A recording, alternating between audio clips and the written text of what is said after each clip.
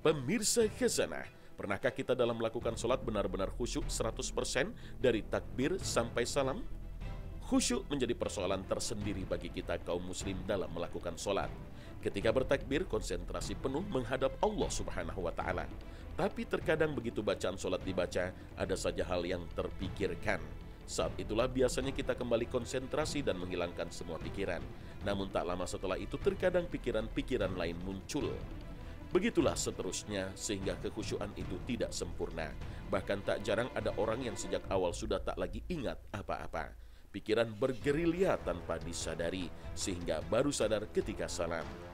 Lalu bagaimana kondisi kekhusyuan yang bolong-bolong kurang sempurna ini? Apakah sholat kita diterima Allah Subhanahu wa taala? Khusyuk merupakan roh sholat.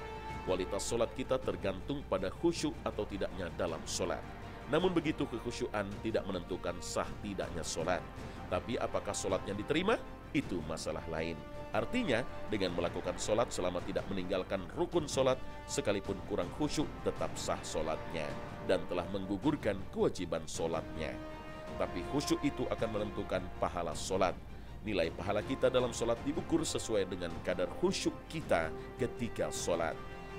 Ammar bin Yasir radhiyallahu anhu menuturkan Nabi Shallallahu alaihi wasallam bersabda, ketika seseorang selesai dari sholatnya, pahala yang dia dapatkan hanya sepersepuluh sholatnya, atau sepersembilan, atau seperdelapan, atau sepertujuh, atau seperenam, atau seperlima, atau setengah, atau sepertiga, atau setengahnya.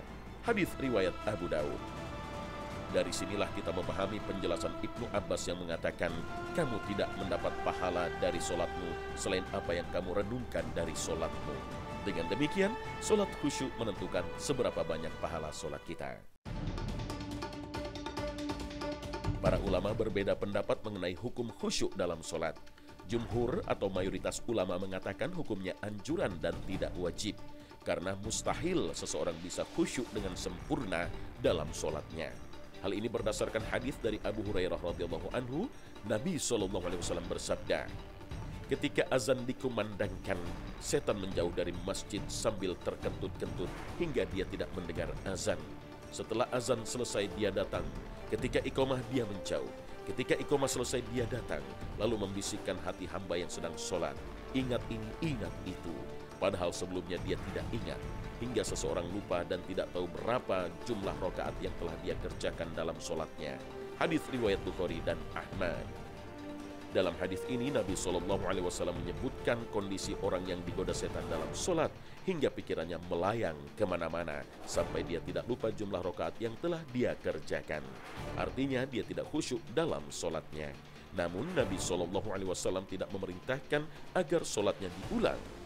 Hanya saja pahalanya berkurang bahkan bisa jadi tidak ada.